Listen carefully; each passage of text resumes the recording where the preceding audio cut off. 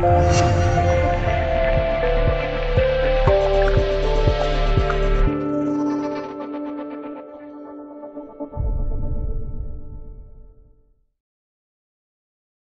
情场上，女人天生情商比较高，稍微说错一句话，就会跟喜欢的他失之交臂。今天就教大家三招最有效省力的方法，在男女关系里，想成功追到女生，除了自身价值要够，还得有技巧去追。比如说，女生说她是单身，你会怎么会呢？有什么高情商的回复呢？下面男生高情商的回答，女生看完了瞬间懵逼。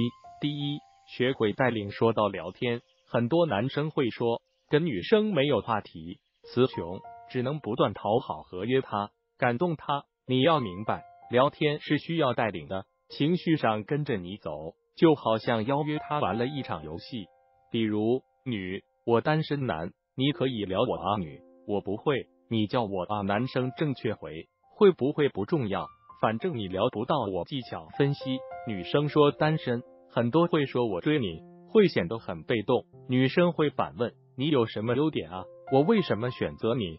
聪明人是反过来叫女生去追他，你去筛选他，制造自己的不可得性。第二，细心女生是细腻的，如果你能够发现他的点点滴滴，他会让你走进他的心里。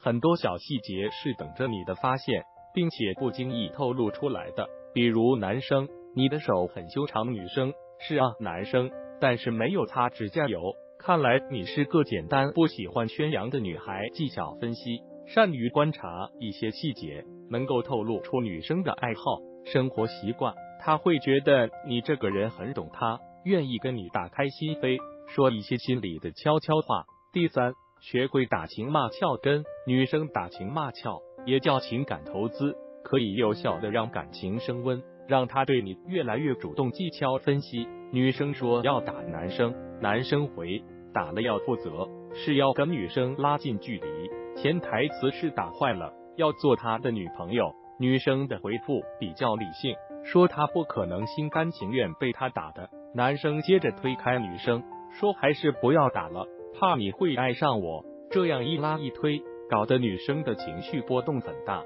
现在是想打还打不着了。老司机叫过很多不会撩妹的直男。他们的聊天一天到晚都是在问在干嘛，吃了吗，睡觉了。聊天最怕的就是没话找话，这样很容易尬聊。一来会暴露你的需求感，让女生觉得你想追她；二来你不会聊，女生心里想这人有毛病吧，整天来烦我，然后更加讨厌你，就把你拉黑了。宁可少交流，也不要没话找话，这是追女生的一个误区。自古真情留不住。总是套路得人心，这年头没点套路怎么撩妹？修车俱乐部一个分享最新撩妹套路，教你如何追女生和女生聊天约会的公众号。老司机开车来不及解释了，抓紧上车，让你快速脱单。据说点赞、评论、转发的都脱单了。